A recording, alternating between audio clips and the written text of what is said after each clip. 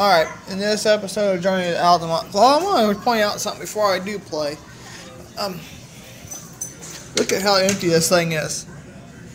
And usually when I come in here, thing's way up to the top.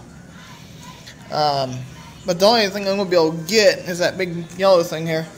And this thing is $1 per play. And the machine will last a nice 30 seconds, which you ain't going to be able to see with the sun glaring off the display. So, we're going to try win that big yellow thing.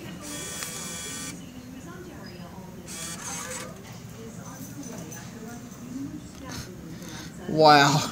I don't know if this claw even hang on to this thing. Should. If I just get the claw grabbed by the head.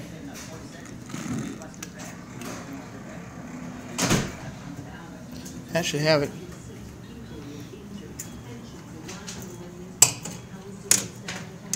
Awesome win.